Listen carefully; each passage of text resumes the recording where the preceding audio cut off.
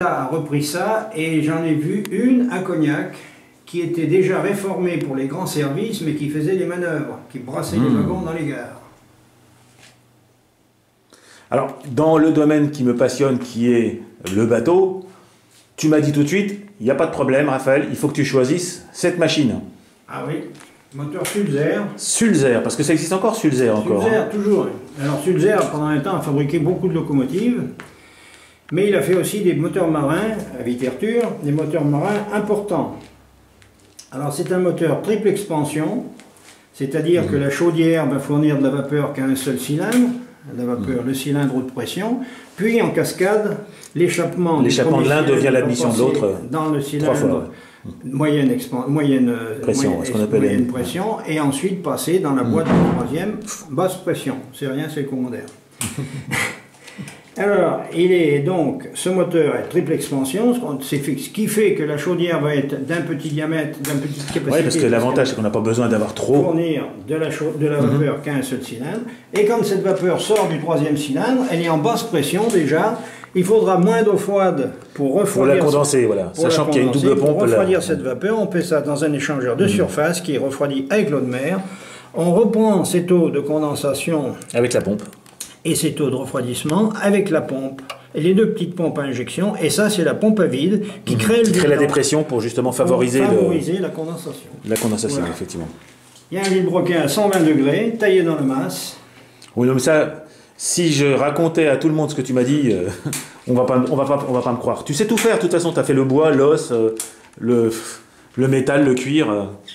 Alors, le fardier de Cugnot, tu as eu la chance de le vivre. hein. Alors, le fardier de Cugnot, ben, il y a toute une histoire, parce qu'évidemment, le fardier de Cugnot, il n'y a pas de plan. Ah bon? Monsieur Fardier n'a pas fait, enfin, Monsieur Cugnot n'a pas fait un plan de son truc? Non, il y a des lithographies, Ah. de vue d'ensemble. Alors, il a fallu que j'aille euh, à Paris. Alors, ça s'est fait avec le collège technique de Pont. Au collège technique de Pont, il y a une section mécanique qui est très importante. Et tout le monde s'y est mis. Et le, pro- le proviseur, le, monsieur Méjean, m'avait dit on devrait faire un projet comme ça, ça serait bien pour les élèves. Plusieurs sections vont pouvoir travailler dessus. Il y a des charpentiers, il y a des cha- chaudronniers, il y a des mécaniciens, il y a tout ça. Alors, on a été à Paris. Et j'avais la chance de connaître l'ancien conservateur, M. Jacomi, Bruno Jacomi, qui a écrit un très joli livre d'ailleurs sur l'évolution technique.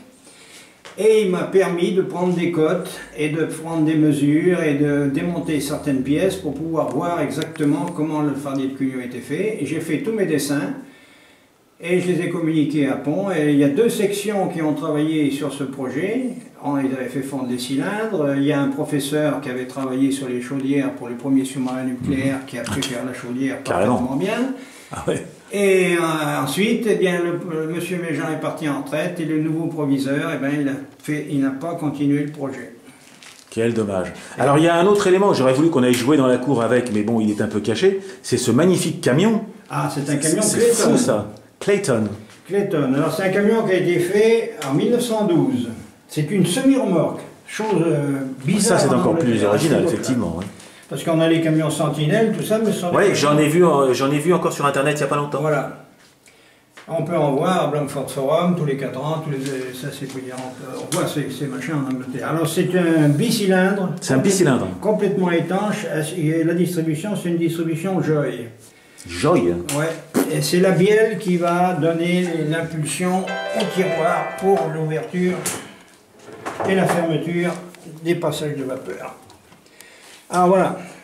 La chaudière est à l'intérieur de la cabine. Ouais, je vois, c'est Et génial. on a cet orifice là, là où on va mettre Ouais. le charbon en cours de marche. Et le charbon est Ah d'accord, tu le balances par le dessus, il est sous le siège, d'accord. Voilà. Ah, tu le balances par au-dessus en fait. Voilà. Ah ben oui, on peut pas Mais- en roulant. Ah oui, oui, c'est oui. Voilà. Et ça, c'est le réservoir d'eau qui va permettre une autonomie d'une trentaine de kilomètres.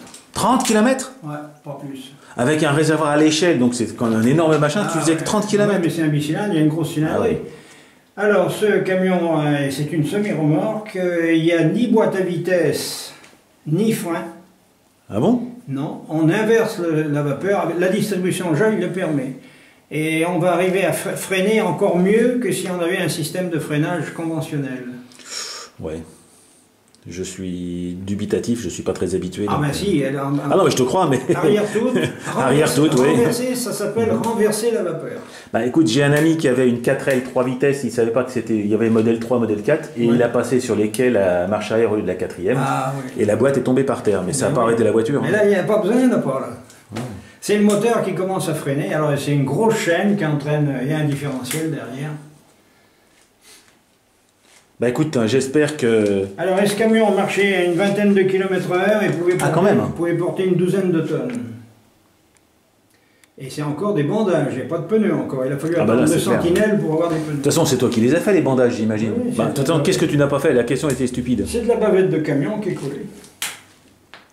Et alors, si maintenant on devait conclure cette, cette petite vidéo, quelle est celle que tu préfères Est-ce que tu peux dire j'en préfère une ou pas? Ben, je préfère la première que j'ai faite. J'aurais dit que la prochaine, Non, la première que j'ai faite. c'est-à-dire Eh ben, la petite euh, société française, celle-ci, là. Hop Ouais, parce que ce que tu as oublié de nous dire, parce qu'on a tellement de choses, c'est que tu as aussi fait des moteurs. Ah, des ben, ouais. machines, faut pas dire des moteurs, sur une vapeur on dit des machines. Ce petit tricylindre, par exemple, c'est toi. Ah oui, oui. Qui a inventé. J'ai dessiné d'abord, après j'ai construit. J'ai construit ce moteur à trois cylindres oscillants, j'ai construit celui-là, j'ai construit Qui est aussi un tri, un tricylindre simple effet. Voilà, et j'ai construit presque tout. Là, c'est un bicylindre aussi avec une distribution très originale. Voilà, c'est le système Stanley. Bah écoute, c'est c'est merveilleux. hein. Alors les moteurs, ben, je vais t'expliquer l'histoire des moteurs. L'histoire des moteurs commence avec le noir. Le noir, c'est un belgo-luxembourgeois qui a eu l'idée, vers euh, 1870-71, de transformer une machine à vapeur en moteur à gaz pro. De gaz pro résisté. Alors, c'est un moteur à, deux, à double effet qui va, le noir a inventé la bougie d'allumage, c'est le premier qui a eu cette idée. Et La bougie à étincelle? À étincelle avec la bobine de Avec une Runkoff. dynamo. La bobine de Runkoff, un transformateur qui va transformer un primaire de 9 à 10 volts en 15 000 volts. Sans tension, mais avec C'est l'étincelle. exactement le principe d'une bobine d'allumage. Sans intensité, mobile. je veux dire, oui, d'accord. Alors comment ça va marcher? On a deux tiroirs, De chaque un qui va commander l'admission et l'autre qui va commander l'échappement. On a ici l'arrivée de gaz qui vient sur cet embout et l'entrée d'air qui est ici.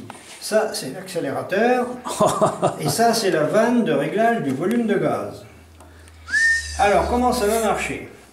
Eh bien, on va sur une demi-course, on va avaler un mélange ga- gaz-air. Le rupteur de primaire va couper le courant et va envoyer l'étincelle haute tension à la bougie. L'explosion va se produire, va pousser le piston vers le bout. Donc ça fait un deux temps alors, du coup C'est un deux temps. Un On deux temps. recommence le, le cycle sur l'autre côté. On recommence à appeler et la bougie et ça part, c'est parti. Seulement il y a un grave défaut. Dans un cycle Baudroca, on a un temps qui est affilié à vider le cylindre des gaz brûlés. Mhm. Ici, pas du tout. Quand les- là, l'explosion se produit, le piston arrive au bout. Mhm. Et les gaz sortent ici par leur propre pression. Ouais, donc euh, il n'y a Ce pas beaucoup de pression. qui fait qu'il en reste. Ouais, donc le Quand rendement est les gaz frais sont admis, il y a de l'oxyde de carbone et la carburation est mauvaise. Mais ce moteur marche. Ah bah oui, non, non, mais il fonctionne. hein. Bah tout comme celui que tu m'as montré ici, là. Ah oui, celui-là, oui, oui, ça c'est un 4 temps, ça. Ouais, c'est vrai que c'est un 4 temps, celui-là. Alors là, c'est pareil, c'est une histoire familiale, c'est pour ça que je l'ai fait. Quand j'étais jeune, euh, j'avais 10-11 ans, je commençais à couper du bois avec ce moteur. C'était le moteur de mon grand-père qui avait une scie circulaire, la même que celle-ci, et qui coupait son bois là, pour, Bah, pour l'hiver. Bah, là, tu l'as fait, tu, tu l'as réduit quand même. Il est demi du plus Demi, petit. en demi seulement, d'accord. Demi du plus petit. Il est au demi du L1 ou du F1. Alors ça, c'est un Connor. Connor ou Bernard, c'est exactement la même chose. Il n'y a que le nom qui change. Il y en a un qui est gris, l'autre qui est bleu. ça, c'est un Connor. Il fait 40 euh, 50 cm3, il tourne à 1750 tours minute. Il a un carburateur euh, Zénith, Oh, dis donc.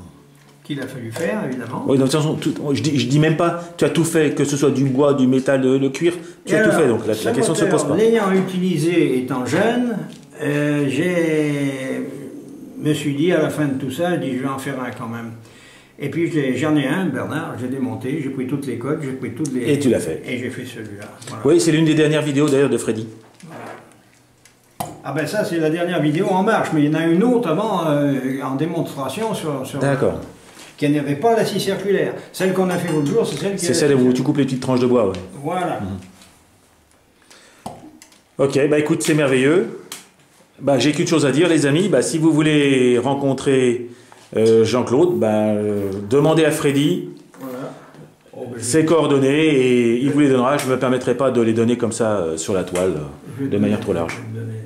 Au revoir, les amis.